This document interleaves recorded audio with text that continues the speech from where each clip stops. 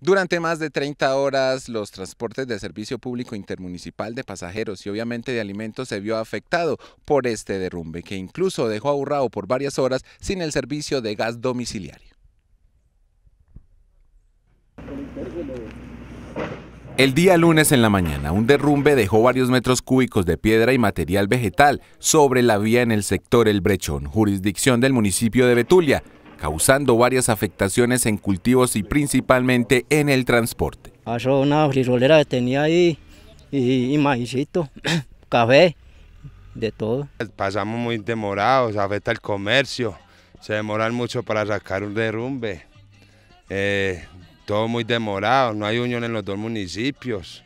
Mandan una máquina, se vara y nos quedamos amaneciendo. A pesar del riesgo, varios pasajeros del transporte intermunicipal, además de algunos motociclistas, transbordaron por el sitio, que para unos dejó pérdidas, pero para otros una buena jornada de bonanza, como ocurrió con los que ayudaron a pasar los viajeros y también los propietarios de pequeños negocios. Colaborándole a pasar motos y y, a, los, y a los buceteros, eh, de todo, maletos, lo que traigan.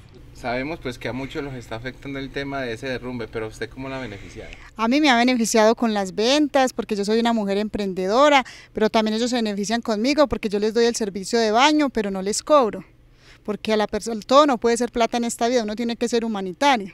Después de 30 horas de trabajos con maquinaria del departamento, el día martes a eso de las 3 de la tarde fue rehabilitado el paso por esta importante troncal. Incluso el servicio de gas domiciliario para Urrao, que se había interrumpido desde el día lunes, se volvió a abastecer.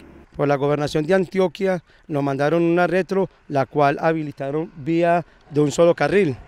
Gracias a la gestión que se hizo por la gobernación de Antioquia y a la alcaldía municipal de Betulia.